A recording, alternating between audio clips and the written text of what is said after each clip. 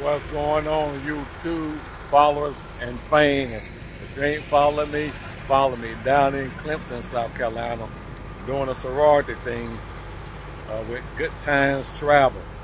So I just stopped in to say hello to you all and and uh, to let you new guys know once again that it's business out here. It's stuff out here. All you got to do is get that DOT number, get that insurance, and come on and throw a little prayer. Prayer never hurts. Prayer never hurts. And so I just come to say hello to you all from Clemson, South Carolina. Now, it's going to be a task because these sorority and sororities or however, they are, they can be a little rowdy sometimes. Yeah, but uh, money to be made, money to be made. All right, from Clemson, South Carolina. We'll get back up with y'all.